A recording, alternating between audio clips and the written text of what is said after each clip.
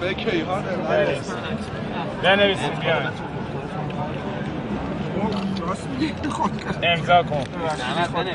من نمی‌خوام بنویسم. آقا مال خودمون آقا امضا کن. گزارش ویژه داری تهیه می‌کنی یعنی این بری اون بری. چرا اونی که می‌خواد؟ چه شرف آقا داره دست نیاد باسم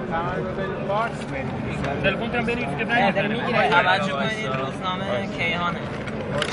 دست می‌گیری داشتم می عکس می‌گیری که برگردون. این از کجا بگیری آقا بفرستید اینا رو. اون از اینم بگیر بدون کیهانه بنویسم طرف مجلس. امضا امضا امضا.